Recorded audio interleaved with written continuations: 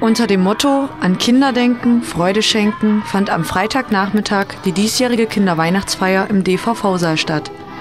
Mit dieser Veranstaltung richten sich die Organisatoren, die Projektinitiative Wir mit euch, mit dem Vorsitzenden Klaus Zimmermann, der DGB Stadtverband Dessau-Rosslau, mit dem Stadtverbandsvorsitzenden Peter Anton sowie einige Stadträtinnen und Stadträte aus Dessau-Rosslau an Kinder aus bedürftigen Familien.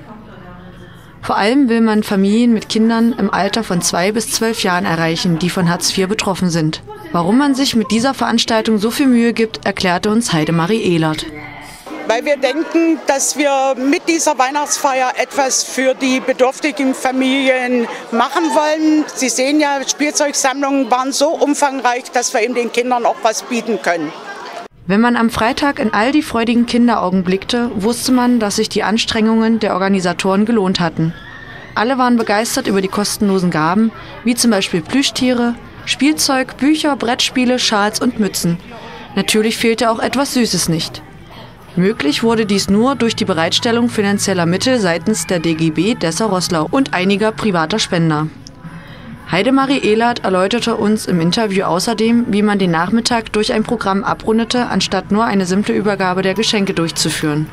Wir hatten einmal die Tanzgruppe Showtime und hatten den ersten Tanzclub von Dessau hier und hatten ein russisches Märchen zu bieten und dann haben für die musikalische Umrahmung die Stadträtin Frau Dammann von der FDP äh, gesorgt und der Herr Klaus Zimmermann von dem Bündnis der Bürgerliste Liberalen. Die haben hier schön äh, Weihnachtslieder mit den Kindern gesungen und dann natürlich der Weihnachtsmann.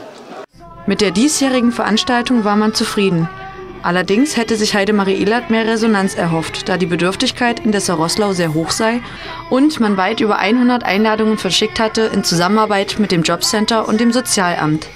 Obwohl die Planungen für die Feier anstrengend sind, will sie weitermachen und hofft auf ein zahlreiches Erscheinen bei der nächsten Veranstaltung. Denn strahlende Kinderaugen sind für sie der schönste Dank.